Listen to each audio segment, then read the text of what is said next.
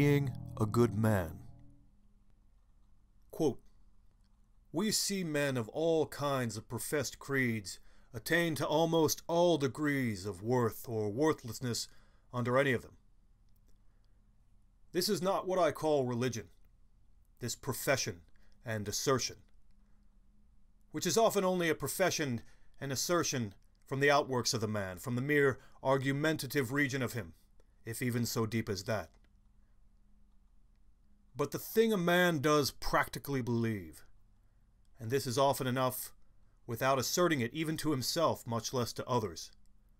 The thing a man does practically lay to heart, and know for certain, concerning his vital relations to this mysterious universe, and his duty and destiny there. That is, in all cases, the primary thing for him, and creatively determines all the rest. That is his religion. Or it may be his mere skepticism and no religion. The manner it is in which he feels himself to be spiritually related to the unseen world or no world. And I say, if you tell me what that is, you tell me, to a very great extent, what the man is, what the kind of things he will do is. Thomas Carlyle, on heroes hero worship, and the heroic in history. Reducing masculinity to a handful of tactical virtues may seem crude, thuggish, and uncivilized. What about moral virtue? What about justice, humility, charity, faith, righteousness, honesty, and temperance? Aren't these manly virtues too? Men aren't heartless monsters and they aren't machines. Men think about more than hunting and killing and defending.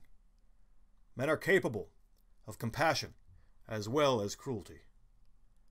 Thinking men ask why. It's not always enough to win. Men want to believe that they are right and that their enemies are wrong. To separate us from them, men find moral fault in their enemies and create codes of conduct to distinguish themselves as good men. One of the finest examples of this is the Christian knight, an ascetic committed to piety and violence, fighting in shining armor for goodness with God on his side. Most men would agree that it is better to be a good man who stands up to bad men. They would rather be heroes than villains. Most men want to see themselves as good men fighting for something greater than survival or gain. When you ask men about what makes a real man, a lot of them will get up on their high horses and start talking about what it means to be a good man. A real man would never hit a woman. A man who doesn't spend time with his family can never be a real man. A real man takes responsibility for his actions. A real man pays his debts. Real men love Jesus. However, if you ask the same men to list their favorite guy movies, many of them will include films like The Godfather, Scarface, Goodfellas, and Fight Club. Don Corleone, Tommy DeVito, and Henry Hill were all ruthless racketeers. Scarface was a murdering drug lord. Tyler Durden was basically a domestic terrorist. There are scores of popular gang and heist flicks, among them Ocean's 11 and 12 and 13, Snatch, Smoking Aces, The Italian Job, Heat, Ronin, The Sting, The Usual Suspects, Reservoir Dogs, and Pulp Fiction. The calculating, morally ambiguous hitman for hire has found an especially sympathetic place in the cinematic pantheon of manliness. The professional, the matador, in Bruges, the mechanic, the American, Collateral, Road to Perdition, No Country for Old Men. Hitman was both a film and a video game. Two of the best selling video game franchises during the last decade were Assassin's Creed and Grand Theft Auto. Sons of Anarchy, a show about a motorcycle gang, is popular on television. Are its characters unmanly because they are outlaws? What about Tony from The Sopranos? Or Al Swearingen from Deadwood?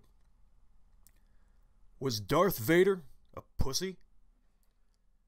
Despite the moral posturing, men are attracted to these characters precisely because they are manly. Bad guys tend to operate in brutal, indelicate, and unmoderated boys' clubs, and they seem to be particularly concerned with the business of being men. Gangsters are status conscious, aggressive, tactically oriented, ballsy, brother bonded men's men. The loner hitmen are portrayed as capable, but smooth, careful operators who are masters of their dangerous craft. They are not good men, but they are good at doing the kinds of things that have been demanded of men throughout human history. They are not good men, but they are good at being men. Before film, men and boys were thrilled by tales of outlaws, pirates, highwaymen, and thieves. Whether these stories were romanticized or spun as cautionary tales, they captured the male imagination with adventurous accounts of daring and mischievous virility. In Shakespeare's The Life of Henry V, the king promised his enemies that unless they surrendered, his men would rape their shrieking daughters, dash the heads of their old men, and impale their naked babies on pikes. Today, if a military leader made a promise so indelicate, he would be fired and publicly denounced as an evil, broken psychopath. I can't call Henry an unmanly character with a straight face. Consider also the case of the prisoner. Do you truly believe that men who negotiate a violent, all male world every day are less manly than a nice guy who works 9 to 5 in a cubicle farm and spends his free time doing whatever his wife tells him to do? What about suicide bombers? I'd say that hijacking a plane with a box knife and flying it into a building takes balls of steel. I don't have to like it. But if I'm being honest with myself, I can't call those guys unmanly. Enemies of my tribe, yes. Unmanly, no. Remember that there are hundreds of thousands of men and boys who regard suicide bombers as brave, martyred heroes, who took substantial risks and made the ultimate sacrifice for a cause. We think of them as evil and flatter ourselves by calling them cowardly because they aren't on our team because they don't share all of our values, and because they endanger our collective interests.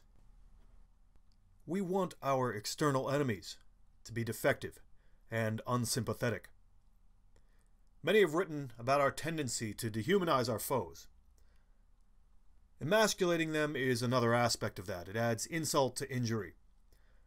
We also want to puff ourselves up and psych them out. It's a good strategy. Insulting a man's honor, his masculine identity, is a good way to test him. It's a good way to get his blood up.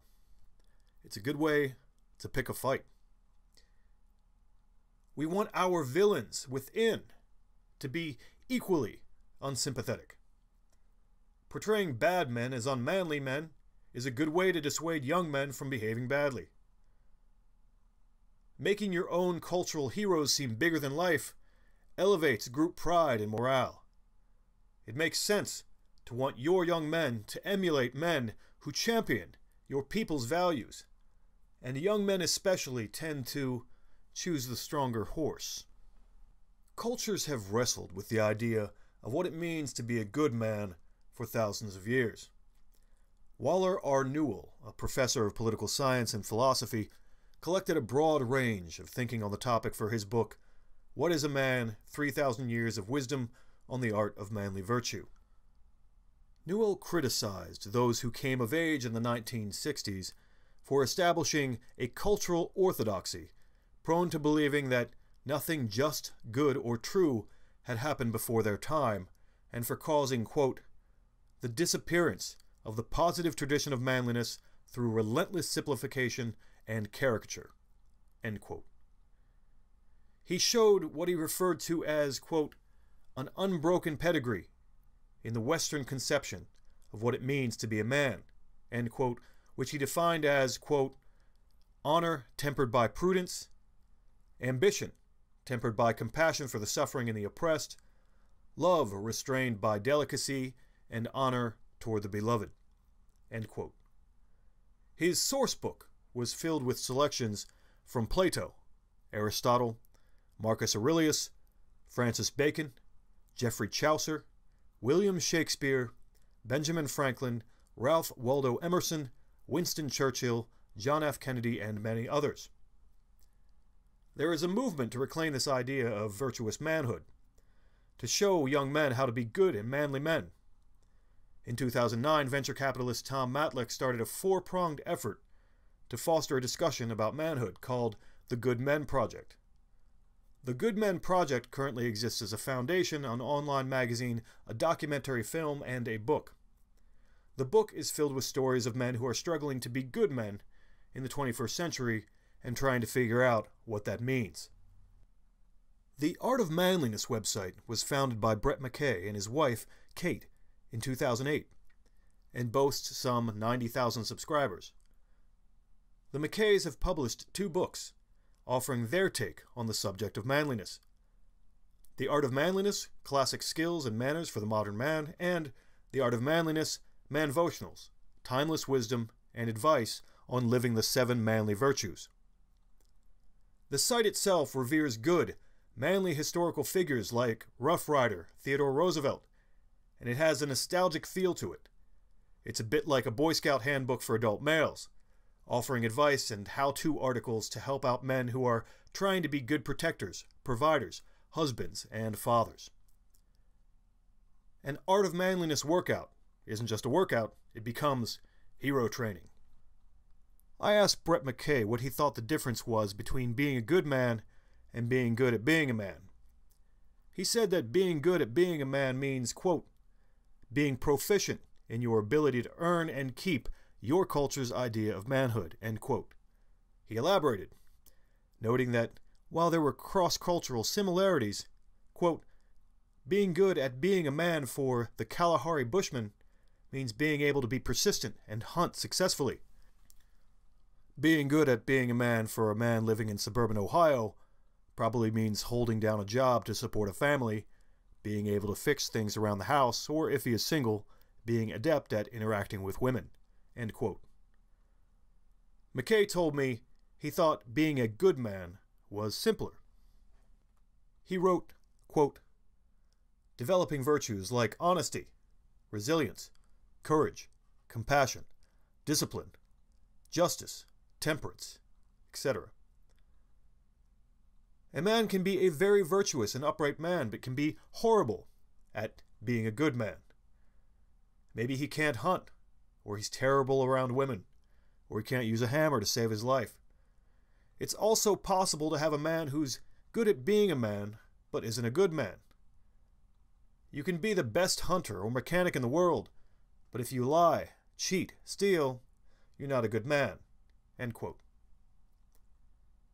McKay seemed to say that being good at being a man is like fulfilling a job description, defined by what your culture needs or wants men to do.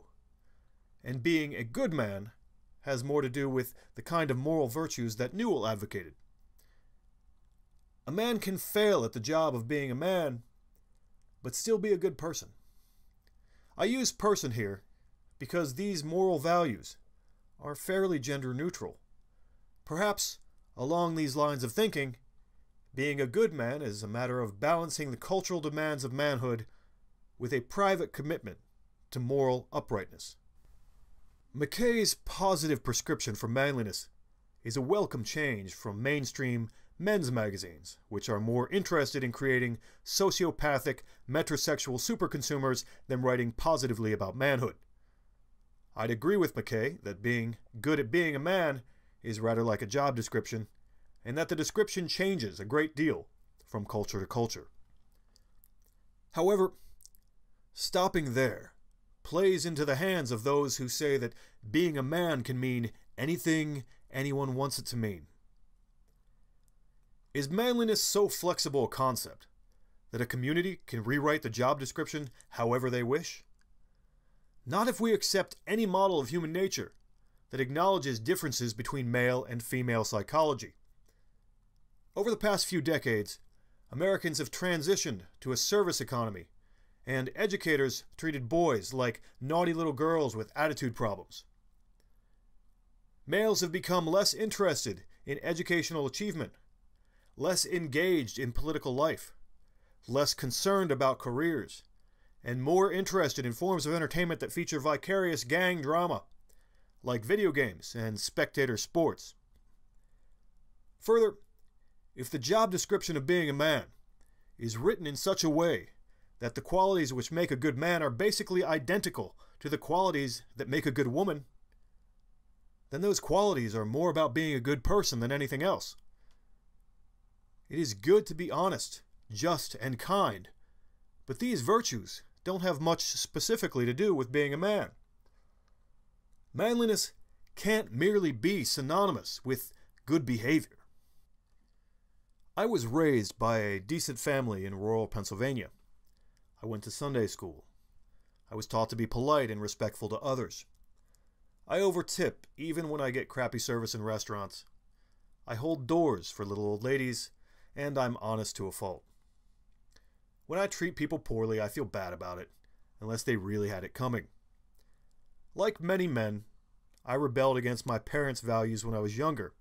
However, perhaps like Brett McKay or Tom Matlick, when I later began thinking seriously about masculinity and what it meant, the following phrase kept popping into my head. I can't think of anything better to be than a good man. I still can't. My first attempts to describe the value of traditional masculinity in print were laced with the kind of homespun morality I grew up with. I respect men who try their damnedest to be good men, even when I don't agree with them concerning every little detail about what that means.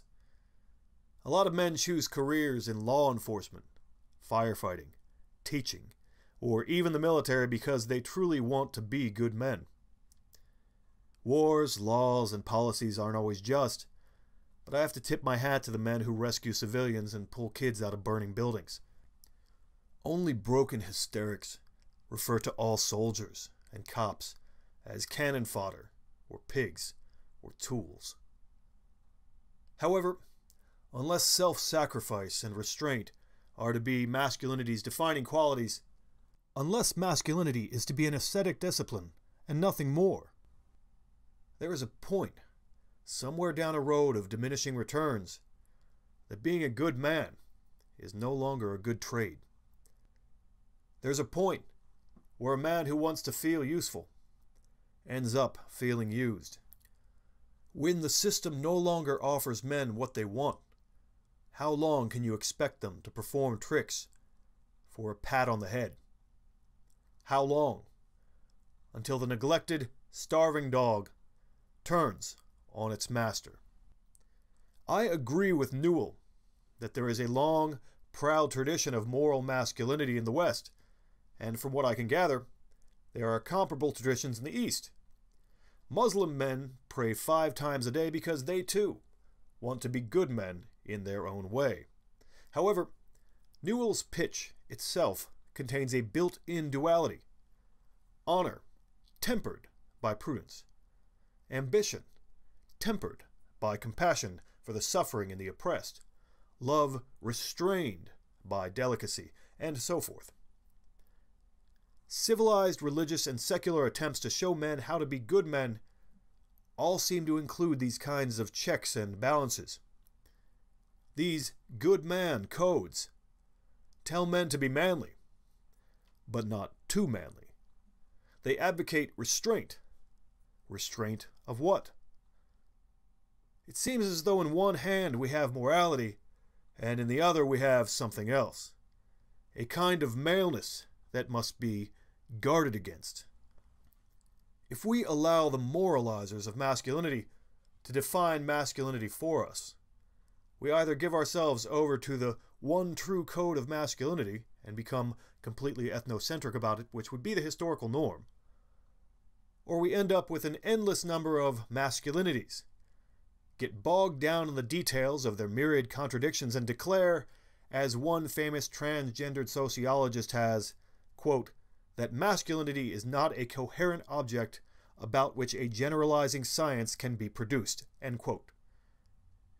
It is true that if a word or concept can mean anything, it means nothing. Raewyn Bob Connell wrote that, quote, claims about a universal basis of masculinity tell us more about the ethos of the claimant than anything else.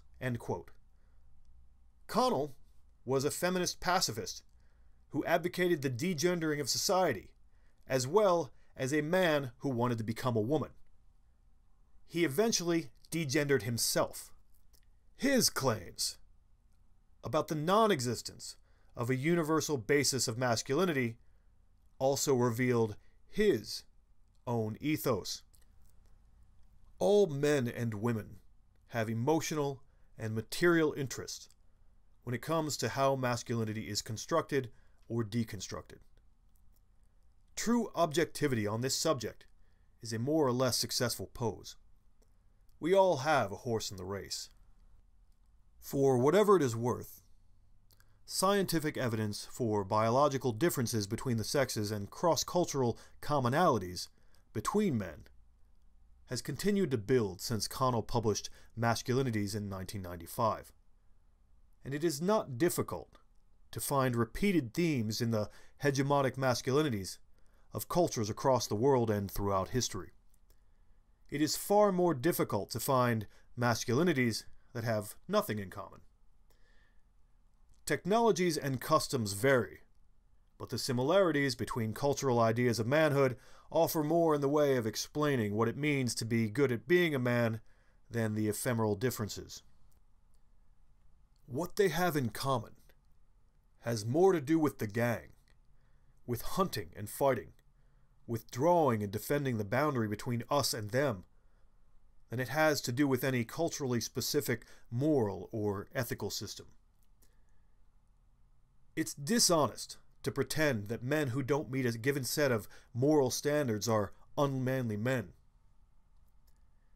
Men may say that immoral men are not real men, but their behavior including the public admiration for the virility of roguish and criminal types, shows that they don't quite believe this. To truly understand the way of men, we must look for where the masculinity of the gangster overlaps with the masculinity of the chivalrous knight, where modern ideas overlap with ancient ones. We must look at the phenomenon of masculinity amorally and as dispassionately as we can we must find what man knows for certain concerning his vital relations to this mysterious universe. The religion of man is not a moral code, though a man may follow his own code to his death. A man struggles to maintain his personal honor, his reputation as a man, because some part of him is struggling to earn and maintain a position of value, his status and his sense of belonging within the primal gang. Men want to be good men because good men are well regarded. But being a good man isn't the same as being good at being a man. There is a difference between being a good man and being good at being a man. Being a good man has to do with ideas about morality, ethics, religion, and behaving productively within a given civilizational structure. Being a good man may or may not have anything at all to do with the natural role of men in a survival scenario. It is possible to be a good man without being particularly good at being a man. This is an area where men who were good at being men have sought counsel from priests, philosophers, shamans, writers, and historians. The productive synergy between these kinds of men is sadly lost when men of words and ideas pit themselves against men of action, or vice versa. Men of ideas and men of action have much to learn from each other. And the truly great men are men of both action and abstraction. Being good at being a man is about being willing and able to fulfill the natural role of men in a survival scenario. Being good at being a man is about showing other men that you are the kind of guy they'd want on their team if the shit hits the fan. Being good at being a man isn't a quest for moral perfection. It's about fighting to survive. Good men admire or respect bad men when they demonstrate strength, courage, mastery, or a commitment to the men of their own renegade tribes. A concern with being good at being a man is what good guys and bad guys have in common. Given enough time, every gang will create some sort of moral code or system of rules to govern its members. Men want to believe that they are in the right, and they distinguish themselves by cobbling together some idea of what it means to be right. In early mafia culture, honor meant loyalty more important than blood ties. Mobsters swore not to make money from prostitution or sleep with each other's wives. They were expected to be family men and were discouraged from womanizing. If the quote, a man who doesn't spend time with his family can never be a real man seemed familiar, that's because it was from The Godfather.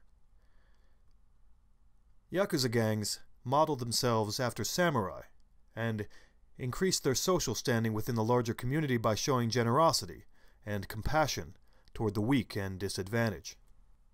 One Mexican gang, known as La Familia Michoacana, recently preached family values, passed out their own version of the Bible, and used some of their profits to help the poor.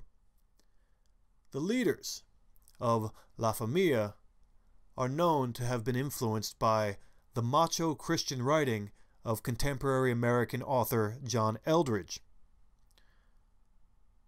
In dire times, men who are not good at being men won't last long enough to worry about being good men. Strength makes all other values possible. As Han said in Enter the Dragon, who knows what delicate wonders have died out of the world for want of the strength to survive? Men who have accomplished the first job of being men, men who have made survival possible, can and do often concern themselves with being good men. As the bloody boundary between threat and safety moves outward, men have the time and the luxury to cultivate civilized, higher virtues. Gangs of men with separate identities and interests of their own are always a threat to established interests to protect the interests of those who run our civilized, highly regulated world, men and women are mixed to discourage gang formation. Feminists, pacifists, and members of the privileged classes recognize that brother bonded men who are good at being men will always be a threat, but forget that some of those men are necessary to create and maintain order in the first place. There is a call to do away with what even the United Nations has deemed outmoded stereotypes of masculinity that are associated with violence. Outmoded is a word you'll see frequently in academic writing about masculinity. So called experts talk about manhood like it was last year's fad, in part because they subscribe to convenient but discredited blank slate theories about gender being, quote, as lightly linked to sex as are the clothing, manners, and the form of headdress that a society at a given period assigns to either sex. Both men and women have attempted to refashion men to suit their dream of a perfect world. No matter what creed they profess, whether they want to make democratic men or fierce gentlemen or inner warriors. They can't seem to escape the gravitational pull of some basic ideas about the underlying religion of men. To appeal to men, they speak of strength and courage. The moralizers and the reimaginers of masculinity play on a man's primal concern with his status within the male group, concern for his reputation, his distaste for being seen as weak, fearful, or inept. They appeal to his sense of honor. Their moralized and reimagined interpretations of strength and courage are simply tamed and pacified versions of the old gang virtues, suited to civilized life in a time of peace, plenty, and the sharing of political and economic power with women. To protect and serve their own interests, the wealthy and privileged have used feminists and pacifists to promote a masculinity that has nothing to do with being good at being a man, and everything to do with being what they consider a good man. Their version of a good man is isolated from his peers, emotional, effectively impotent, easy to manage, and tactically inept. A man who is more concerned with being a good man than being good at being a man makes a very well behaved slave. There has always been a push and pull between civilized virtues and tactical gang virtues. However, the kind of masculinity acceptable to civilized societies is in many cases related to survival band masculinity. Civilized masculinity requires male gang dramas to become increasingly controlled, vicarious, and metaphorical. Human societies start with the gang and then grow into nations with sports and a climate of political, artistic, and ideological competition. Eventually, as we see today, average men end up with economic competition and a handful of masturbatory outlets for their caged manhood. When a civilization fails, gangs of young men are there to scavenge its ruins, mark new perimeters, and restart the world.